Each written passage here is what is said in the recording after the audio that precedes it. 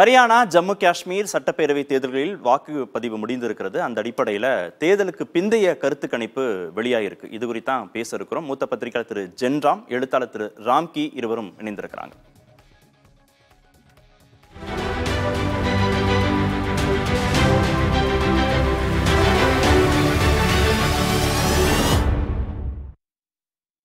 முதல்ல ஹரியானா மாநிலத்தில் வாக்குப்பதிவு முடிந்ததை அடுத்து அங்கே என்ன தேர்தலுக்கு பிந்தைய கருத்து கணிப்பு நிலவரம் அப்படின்னு நம்ம பார்க்கலாம்.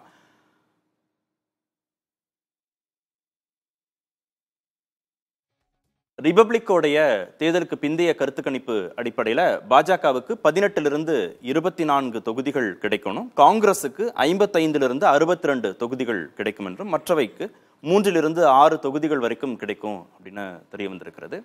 அதே மாதிரி வேறு கருத்து கணிப்பு சிஎன்எனுடைய கருத்து கணிப்பு பார்த்தோன்னா பாஜகவுக்கு இருபத்தோரு தொகுதிகள் காங்கிரஸுக்கு ஐம்பத்தி ஒன்பது மற்றவைக்கு ஆறு தொகுதிகள் கிடைக்கும். அது ஹரியானா மாநிலத்தை பொறுத்த வரைக்கும் காங்கிரஸ் வந்து தனி பெரும்பான்மையோடு ஆட்சி அமைக்கும் அப்படிங்கிறது இந்த இரண்டு கருத்து கணிப்புகள் தேர்தலுக்கு பிந்தைய கருத்து கணிப்புகள்லேருந்து தெரிய வந்திருக்கு. மற்ற நிறுவனங்களும் வெளியிட்டிருக்கிறாங்க தேர்தலுக்கு பிந்தைய கருத்து கணிப்புகள்லையும் அதுலேயும் பெரும்பாலும் காங்கிரஸ் தனித்த பெரும்பான்மையோடு ஆட்சி அமைக்கும் அப்படின்னா தெரிய வந்திருக்கிறது. திரு ஜென்ரா வணக்கம். முதல்ல தேர்தலுக்கு முந்தைய கருத்து கணிப்பெல்லாம் சொன்னது வந்து காங்கிரஸ் வந்து வந்துடும் அப்படின்னு சொல்லப்பட்டது. அப்புறம் ஒரு தொங்கு சட்டமன்றம் வருவதற்கான வாய்ப்பு இருக்குன்னு. அப்புறம் வாக்குப்பதிவுக்கு சில தினங்களுக்கு முன்பு பாஜகவுக்கு கூட வாய்ப்பு இருக்குது அப்படிலாம் சொல்லப்பட்டது.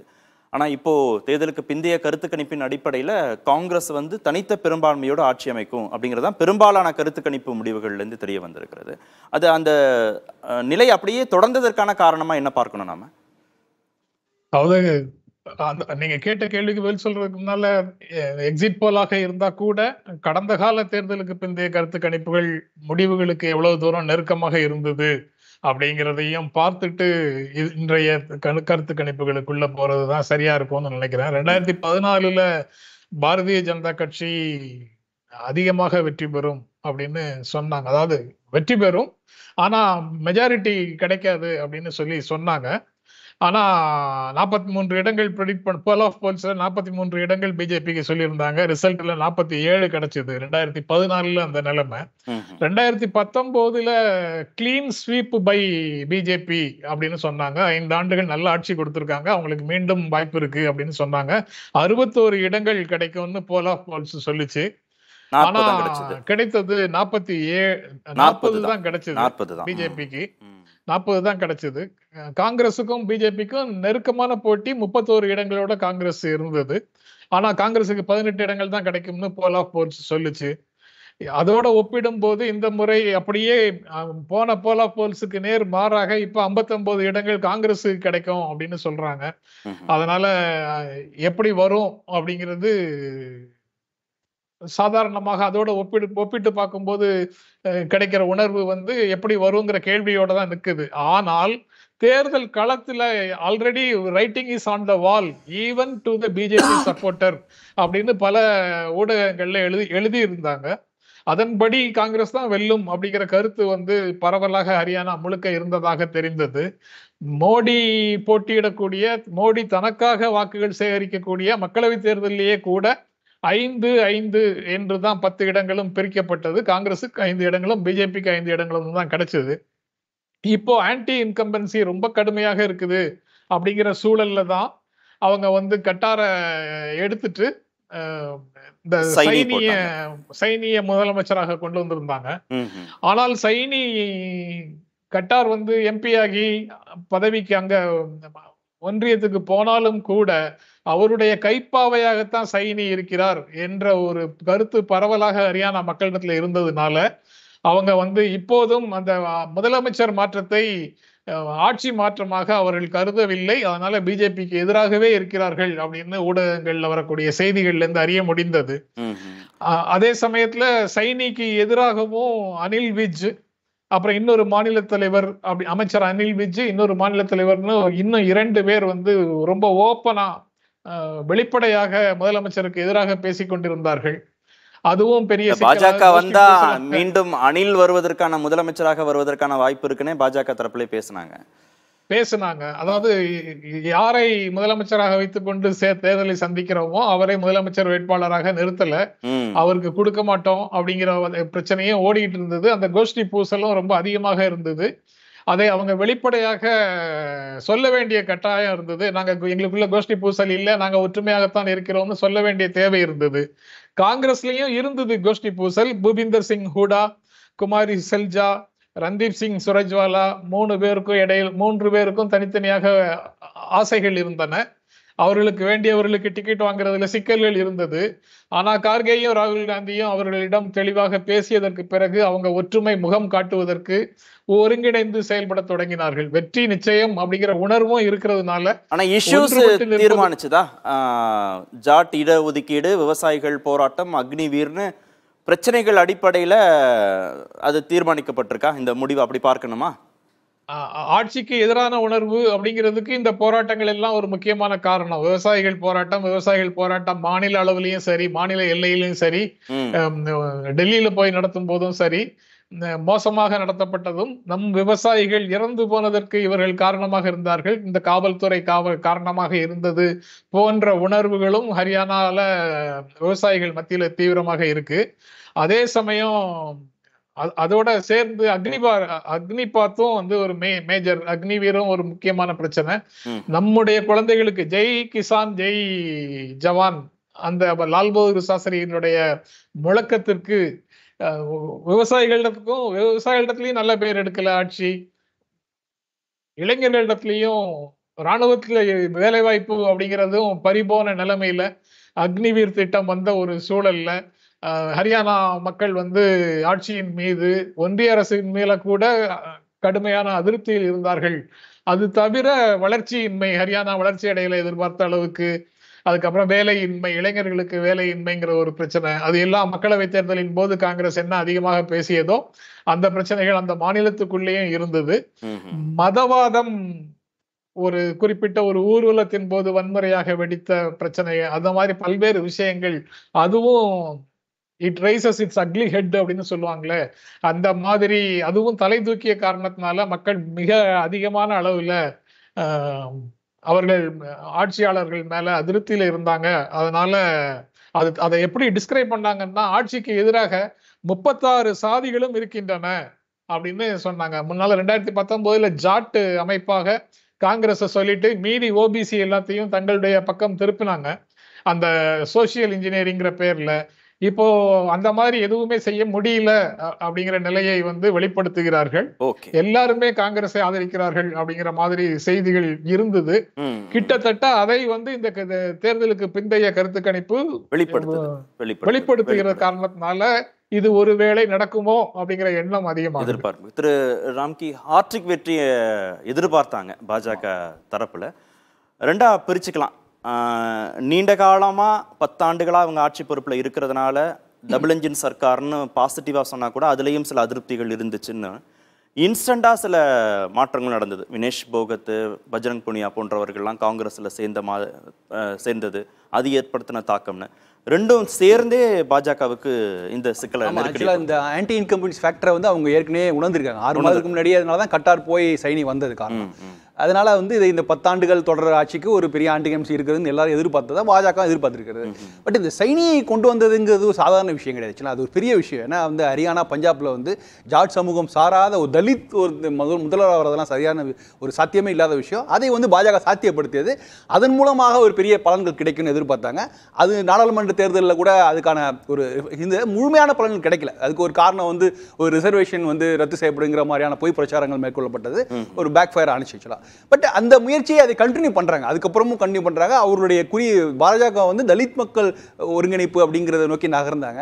அதுக்கு சரியான பலன் கிடைக்கவில்லை அப்படிங்கிறப்ப ரெண்டாவது ஒரு வாட் அவுட் பர்சன்டேஜ் வந்து ஒரு ஒரு அதிகமாகவே இருந்திருக்கு. சென்ற முறை அறுபத்தெட்டு அறுபத்தி பர்சன்ட் எட்டு ஆமா. இந்த முறை வந்து அறுபத்தெட்டு சதவீதத்தை விட தாண்டி போறதுக்கு வாய்ப்பு நிறைய இருக்கு. ஐந்து மணி வரை அறுபத்தோரு சதவீதம். ஆமா. ஆமா. கிட்டத்தட்ட எழுபது வரைக்கும் ஆமா. வரலாம்னு இதுல முக்கியமான ஃபேக்டர் பாத்தீங்கன்னா இங்க மற்றவங்க சொல்றீங்களா? இதுல ஒரு ஜேஜேபின்னு சொல்லிட்டு ஒரு அல்டர்னேட்டிவ் கட்சி ஒன்று இருக்குது. அது வந்து சென்ற முறை வந்து அவங்களுக்கு வந்து வழக்கமாக ஒரு இருபது இடங்கள்ல அவங்களுக்கு செல்வாக்குள்ள இடம். பத்து இடங்கள்ல சென்ற முறை போட்டியிட்டு வெற்றி பெற்றாங்க. அவங்க தான் பாஜக கூட கூட்டணி இருந்திருந்தாங்க.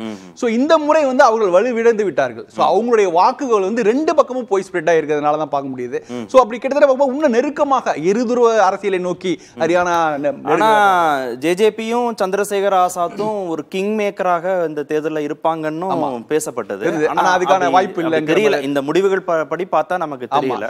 காங்கிரஸ் கட்சியோட ஒரு ஃபார்முலா வந்து ஒர்க் ஆகுது டூ பிளஸ் டூ ஈக்குவல் ஃபோருங்கிற மாதிரி அந்த ஃபார்முலா வந்து இங்க கரெக்டா ஒர்க் ஆயிடுன்னு நினைக்கிறேன். ஏன்னா ஜாட் சமூக வாக்குகள் சிறுபான்மையினர் வாக்குகள் தலித் வாக்குகள் இதெல்லாம் கன்சல்ட் பண்ணாலே போதும். நமக்கு கிடைச்சிரும் அப்படின்னு காங்கிரஸ் நினைச்ச போட்ட கணக்கு வந்து இங்க ஒர்க் அவுட் ஆயிருக்கிறதா நான் பாக்குறேன். ஓகே. ஆமா ஆத்மி லெஃப்ட் எல்லாம் தனிச்சு போட்டிட்டா கூட அது பெரிய இம்பாக்ட் பெரிய இம்பாக்ட் காங்கிரஸுக்கு ஒன்றும் பாதிப்பை அது காரணம் முழுமையாக ஜாட் சமூகம் முழுமையாக காங்கிரஸ் பக்கம் அவருடைய வாக்குகள் அப்படி சிந்தாமல் சிதறாமல் காங்கிரஸ் பக்கம் போயிடுச்சு. இது இதோடைய இம்பாக்ட் வந்து ஹரியானாவை தாண்டி பஞ்சாப் மத்திய பிரதேஷ் போன்ற இதுலயும் இருக்கும்னு பாக்குறேன் ஏன்னா அது வந்து பாஜக ஒரு சில பரிச்சாத்த முயற்சிகளை மேற்கொள்கிறது. ஜாட் சமூகத்தை தள்ளி வைத்து விட்டு நான் ஜாட் சமூகம் தலித் மக்களுக்கு ஒரு எம்பவர் பண்ண ஒரு முயற்சி. எலெக்ஷன் அப்படிதான் பார்த்தாங்க. ஜாட் வெர்சஸ் நான் ஜாட் தான் ஆமா, பார்த்தாங்க. அதை. ஆமா.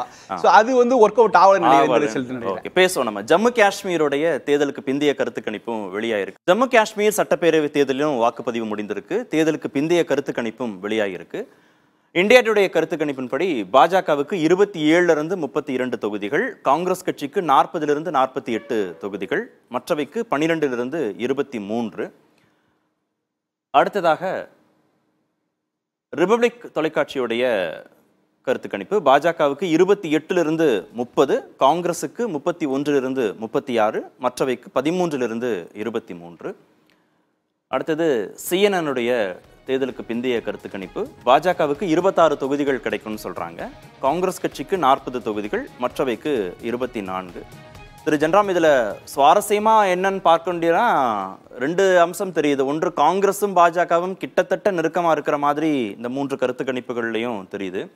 இன்னொன்று மக்கள் ஜனநாயக கட்சி சுயேட்சைகள்லாம் சேர்ந்து ஒரு ஒரு கணிசமான எண்ணிக்கையில வர்றாங்களோ அப்படிங்கிறதும் இந்த முடிவுகள்ல இருந்து தெரியுது. எப்படி பார்க்கலாம் அதை? இல்ல பாஜகவுக்கு வருவதாக சொல்லக்கூடிய இடங்கள் எல்லாமே ஜம்மு பகுதியிலிருந்து வரக்கூடியவை மட்டுமே. முழுக்க முழுக்க காஷ்மீர் பகுதியிலேருந்து அவர்களுக்கு ஒரு சீட்டு கூட இல்லை. ஏதா- ஏதாவது ஒரு இண்டிபெண்ட் ஆதரிச்சு யாராவது ஒருத்தர் வெற்றி பெற்றால் மட்டும் வேணா ஒரு சீட்டு ரெண்டு சீட்டு வேணா இருக்கலாம். ஆனா அதுவும் பிஜேபி கணக்குல வரும்னு தெரியல. வராது. ஆனா இருபத்தெட்டு தொகுதிகள்ல அவங்க வேட்பாளரே நிறுத்தல. நிறுத்தல. அதான் முழுக்க முழுக்க அவங்க காஷ்மீர் வேலைக்குள்ள எதுவுமே அவங்களுக்கு செல்வாக்கு இல்ல. நீங்க பெர்சன்டேஜ் வைஸ் சொன்ன ஒரு கருத்து கணிப்பு கூட என்ன சொல்லுது? எக்ஸிட் போல்ல காஷ்மீர்ல மூணு சதவீத வாக்குகள் தான் அவங்களுக்கு வந்திருக்கு எக்ஸிட் போல்ல இந்த பக்கத்துல தான் நாற்பத்தோரு சதவீத வாக்குகள் ஜம்முல தான் நாற்பத்தோரு சதவீத வாக்குகள். அந்த நாற்பத்தோரு சதவீத வாக்குகளுக்கு ஜம்முல கிடைக்கக்கூடிய இடங்கள் தான் அந்த இருபத்தி ஏழுல இருந்து முப்பத்தி ரெண்டுக்குள்ள அப்படிங்கிற இடங்கள் அப்படிங்கிறது தெரியுது. அந்த கருத்து கணிப்புல இருந்து. தேசிய மாநாடு கட்சியும் மக்கள் ஜனநாயக கட்சியும் அங்க தனித்து போட்டியிட்டது பாஜகவுக்கு கொஞ்சம் அனுகூலத்தை கொடுத்துருக்கோ? கொடுக்குமோ? இல்ல பாஜக அனுகூலத்துக்கு கொடுக்காது. எப்படி இருந்தாலும் அவங்க தனியா தானே தேசிய தேசிய மாநாட்டு கட்சியும் பிடிபியும் தனியாக நிற்கிறதுனால காஷ்மீர் வேலிக்குள்ள எதுவுமே அவங்களுக்கு கிடைக்கல. அது போக ஹரியானாலேயே நம்ம பேச கடைசியாக பேச வேண்டிய ஒரு செய்தி அதுக்குள்ள பிரேக் வந்துடுச்சு. அது இங்கேயும் பொருந்துது. பாரதிய ஜனதா கட்சியோட ஆட்சியில யார் கூட்டணியில் இருந்தார்களோ அவர்கள் வந்து இந்த தேர்தல்கள்ல காணாமல் போகிறார்கள். எக்ஸிட் போலின் படி. முடிவுகள் எப்படி வருதுன்னு தெரியல. எக்ஸிட் தெரியல. போல்களின் படி Okay. ஹரியானால ஜேஜேபி அதனுடைய முக்கியத்துவத்தை இழக்கு இழக்கிறது. இங்க பிடிபி தன்னுடைய முக்கியத்துவத்தை இழக்கிறது. அவர்களோடு அலையன்ஸ்லுக்கு போனவங்களுக்கு இயல்பாக இப்படித்தான் ஒன்று வருகிறதுன்னு வழக்கமாக சொல்லிக்கிட்டு இருப்பாங்க. அது இந்த இரண்டு விஷயங்கள்லயும் நடந்து விடுமோ அப்படின்னு எக்ஸிட் போல் ஒரு கேள்வியை நம்ம முன்னால எழுப்புது. அது தவிர அந்த டீலிமிட்டேஷன் அதுல ஒரு இருபத்தி நாலு தொகுதிகளை பாகிஸ்தான் ஆக்கிபைடு காஷ்மீருக்குள்ள உருவாக்குவது அது. அந்த இருபத்தி நாலு தொகுதிகளுக்கும் தேர்தலே நடத்தாம நூத்தி பதினாலு தொகுதிகள்ல தொண்ணூறு தொகுதிகளுக்கு மட்டும் தேர்தல் நடத்துவது இது எல்லாமே ஒரு பெரிய மக்களுக்கான ஒரு நடவடிக்கையாக மக்களை கவரும் நடவடிக்கையாக இருக்குது.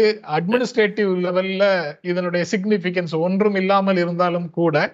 மக்களை கவரும் விதமாக இப்படி ஒரு வேலையை அரசு செய்திருக்கிறார்கள் அப்படின்றதையும் பார்க்க முடியுது. ஆக நூத்தி பதினாலு சீட்ல தொண்ணூறு சீட்டுக்கு தான் தேர்தல் நடந்திருக்குது. அந்த தொண்ணூறு சீட்ல காங்கிரஸும் தேசிய மாநாட்டு கட்சியும் ஜம்முல முப்பத்தி ஏழு சதவீத வாக்குகளை பெறுகிறார்கள். இங்க வந்து